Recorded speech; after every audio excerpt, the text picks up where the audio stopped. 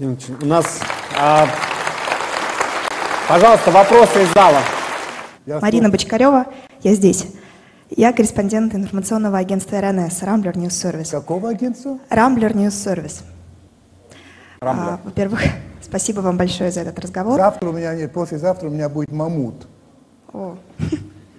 У меня к вам два вопроса. Первый вопрос касается э, российских СМИ в целом. Вот российских СМИ, которые пишут о взаимоотношениях власти, общества и бизнеса. Коммерсант, ведомости, РБК.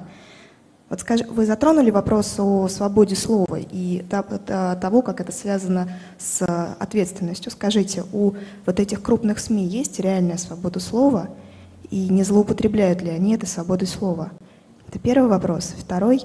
Вы видели видеообращение Алишера Усманова к Алексею Навальному? Как вы их оцениваете?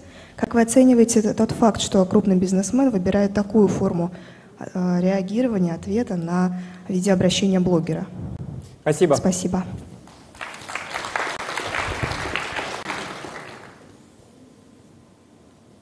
Я вообще не поклонник Алексея Навального, а, и он не мой поклонник. У нас с ним были дебаты на дожде. Вот. Я абсолютно, вы знаете, я в отношении его могу сказать словами Вольтера, я не согласен ни с одним вашим словом, но я готов отдать жизнь за ваше право это говорить. Вот таково мое отношение к нему. А что касается Усманова, ну странно это все. Ну что, почему я это вообще должен оценивать? Это что, очень важно? Почему об этом вообще говорят? Нет более важных вещей в нашей стране, чем вот то, что Усманов так ответил Навальному. По-моему, ну, вот, ну, такой Усманов, ну, такой Навальный. Если посадили бы, убили бы, я не знаю, это был бы разговор. А так он, ну чего, ну, и, и это выносит на какой-то, там, это становится предметом обсуждения. Да не все ли вам равно, как Усманов ответил э, Алексею Навальному? Это действительно вас волнует? Ну хорошо, ну что ж делать? Меня не волнует. Меня вообще не волнует. Потому что меня не волнует то, что о нем сказал Навальный, и обратно меня не волнует. Это никак не влияет на мою жизнь. Это два человека, чего-то там, ну и что? Это что касается. Теперь насчет злоупотребления. А, во-первых, есть ли у нас вообще независимые СМИ? Я называю независимым СМИ, которые, а, не зависят от власти, и, б, не зависит ни от каких других организаций, кроме себя. То есть такое средство массовой информации, которое никому не принадлежит, кроме самого хозяина этого средства массовой информации. На мой взгляд, таких у нас нет. У нас нет средств массовой информации, которое бы не зависело от власти. Вы это прекрасно знаете. Если власть захочет расправиться с каким-либо средством массовой информации, то абсолютно нет преград. Поэтому в этом смысле нету. Другое дело, что власть допускает определенное а, противостояние или даже, можно сказать, оппози оппозицию. Ну почему допускает? Да потому что читают эти СМИ три с половиной человека. но на телевидении не допускает. На главных каналах не допускает. Потому что именно главные каналы формируют общественное мнение.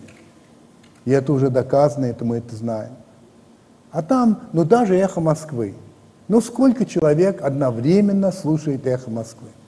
Ну миллион, это в базарный день. А что такое миллион? Ну пускай слушают.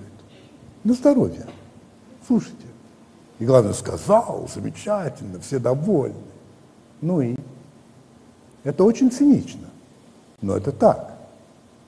Вот если бы когда-нибудь, это будет, конечно, будут средства массовой информации независимые, полностью независимые от власти, меняется картина. К сожалению, в мире сегодня очень мало есть стран, где сколько-нибудь много вот таких средств. Потому что если они не зависят от власти, они не зависят, то они зависят от того конгломерата, куда они включены. Ведь когда-то, например, CNN принадлежал Теду Тернеру, и больше никому. И у Теда Тернера были определенные взгляды на то, что такое журналистика и какая задача ставится. А потом он продал это. Он продал NBC, а NBC принадлежит AOL, а AOL принадлежит, и вот такое конгломератище, где вот маленькое вот такой там CNN, и совсем другие задачи ставятся. Это уже не независимые СМИ. И вот это общий процесс, который происходит и в Англии, и в Америке, и в Германии, и во Франции. Постепенное вхождение или приобретение совсем не а, информационными а, организациями средств массовой информации в качестве а, а заработка, так сказать, ну и б инструмента. Так что ну да, они, наверное, РБК, ну, может быть, там, да, злоупотребляет. А новые газеты не, не злоупотребляют? Ну, по-моему, иногда злоупотребляют. Не в этом дело. Не в этом дело. Дело в зависимости. И вообще, может ли быть средство массовой информации оппозиционным? Априори. А где информация-то? Раз вы оппозиционные, значит, вы мне говорите, вот это плохо, это плохо, это плохо, это плохо. Я говорю, увольте. Вы мне расскажите просто, дайте мне факты. Почему вы меня убеждаете? Разве в этом смысл средств масс массовой информации? Информации. Где она? Вот вопрос.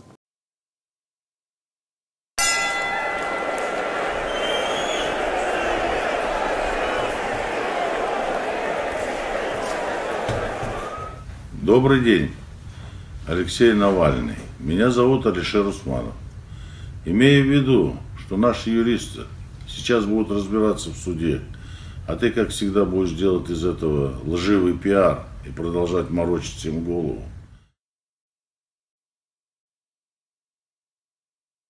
Олигарх Алишер Усманов, один из самых богатых людей России, состоянием 13 миллиардов долларов или 738 миллиардов рублей, подал на меня в суд и вообще на весь фонд борьбы с коррупцией и хочет добиться судебного решения о том, что он не платил взяток Дмитрию Медведеву.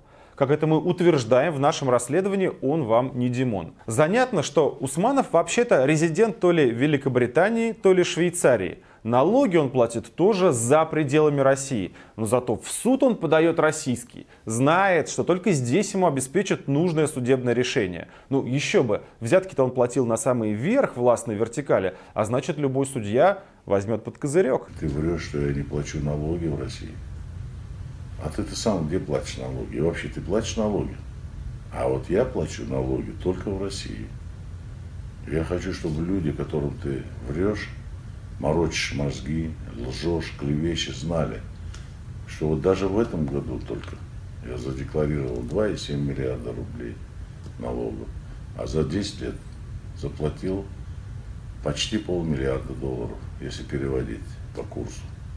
Кстати, по поводу остальных средств, которые тебя так сильно мучают, тоже хочется как-то сказать, что чувствую страшную зависть лузера, и неудавшегося бизнесмена, который начал свой бизнес с откатов на мелких сделках, мучает это тебя, видимо, сильно. Напоминаю, что мы установили следующее.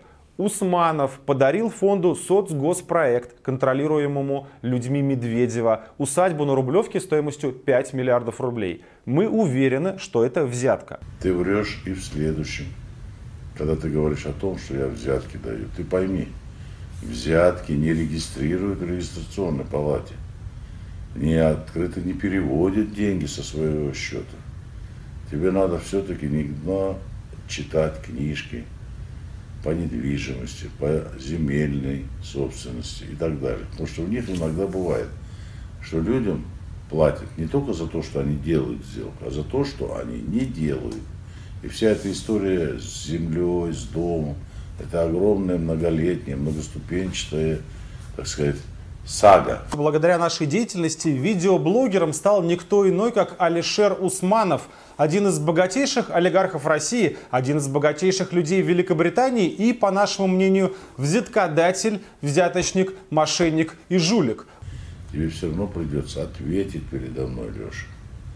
И для меня важно, чтобы люди, которые смотрят это видео, знали, что я, Алишер Усманов, честный предприниматель, честный человек, прежде всего. А цель вот таких, как ты, Алексей Навальный, это создание образа российского бизнесмена, который не умеет ничего, кроме как воровать, не умеет ничего создавать. И это тоже вранье. И твои потуги меня оболгать, это лай моськи на слона. Тфу на тебя, Алексей Навальный.